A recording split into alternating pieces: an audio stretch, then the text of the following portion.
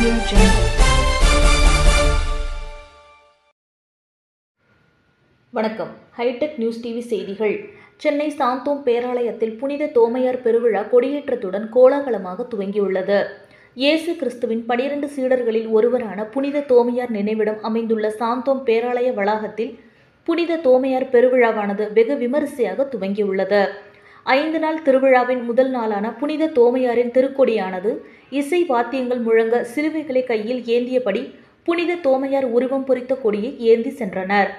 இதனையடுத்து புனித தோமையாரின் உருவம் பொறித்த கொடியேற்றப்பட்டு அதிகாரப்பூர்வமாக புனித தோமையார் பெருவிழா தொடங்கியிருப்பதாக பேராலய தந்தை தெரிவித்துள்ளார். நடைபெறும் இந்த பெருவிழா ஒவ்வொரு நாளும் பல்வேறு நிகழ்வுகளுடன் நடைபெற இருப்பதாகவும் தெரிவிக்கப்பட்டுள்ளது. நற்கருணை பெருவிழாவும் வெள்ளிக்கிழமை குடும்ப விழாவாகவும் சனிக்கிழமை ஆயர் திருநிலைப்பாட்டு வெள்ளி விழாவாகவும் இறுதி நாளான ஞாயிற்றுக்கிழமை அன்று வெகு விமரிசையாக தேர் திருவிழாவுடன் கொடியிறக்கம் செய்யப்படும் என்று பேராலய அதிபர் பங்குத்தந்தை முனைவர் வின்சென்ட் சின்னதுரை அவர்கள் தெரிவித்துள்ளார். தாமஸ் அவர்களுடைய ஆண்டு விழாவின் தொடக்கமாக சாந்தோம் பேராலயத்தில் சோமையாருடைய புனித தாமஸ் அவர்களுடைய திருவுருவம் தாங்கிய இந்த கொடியை ஏற்றி ஆண்டு விழாவை தொடங்க இருக்கிறோம். இயேசுவின் பன்னிரண்டு சீடர்களில் ஒருவராகிய தாமஸ் இந்தியாவிற்கு வந்து இந்த பகுதியிலே இயேசுவை பற்றி நற்செய்தியை பற்றி அறிவித்து அதன் எதிர்ப்பாளர்களாக இருந்தவர்களால் கொலை செய்யப்பட்டு இந்த சாந்தோம் பேராலயம் இருக்கிற இந்த இடத்தில் அவர் அடக்கம் செய்யப்பட்டார். தோமையார் மலை என்று அழைக்கப்படுகிற தாமஸ் மவுண்ட் அங்கிருந்து இங்கே வருவதாக வரலாறு நமக்கு சொல்லுகிறது. எனவேதான் சென்னையிலே மவுண்ட் ரோட் என்பது புனித தாமஸ் மலையிலிருந்து பாரிஸ் கார்னர் வரை வருவது. சாந்தோம் நெடுஞ்சாலை என்பது புனித தோமையார் வாழ் இருக்கின்ற அந்த இடத்தின் இந்த பேராலயம் இருக்கிற நெடுஞ்சாலையை குறிக்கிறது.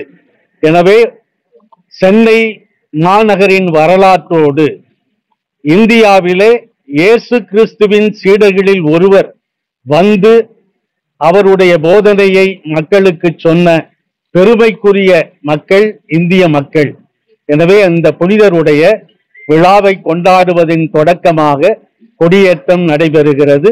ஐந்து நாட்கள் இந்த நிகழ்வு நடைபெறும் முப்பதாம் தேதி ஞாயிற்றுக்கிழமை மாலை ஆறு மணி அளவிலே நம்முடைய சென்னை மயிலை உயர் மறை மாவட்ட பேராயர் மேதகு தாமஸ் மேதகு ஜார்ஜ் அந்தோனிசாமி ஆண்டகை அவர்கள் தலைமையிலே ஆடம்பர தேர் பவனியும் அதனை தொடர்ந்து ஆடம்பர வழிபாடும் இதே இடத்தில் நடைபெறும்.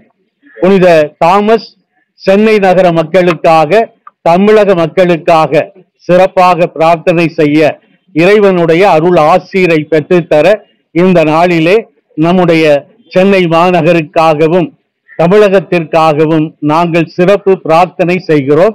மக்கள் அனைவரும் மத நல்லிணக்கத்தோடு சமூக நல்லிணக்கத்தோடு சகோதர சகோதரிகளாய் வாழ இந்த நாளிலே நாங்கள் சிறப்பான பிரார்த்தனையை மேற்கொள்கிறோம்.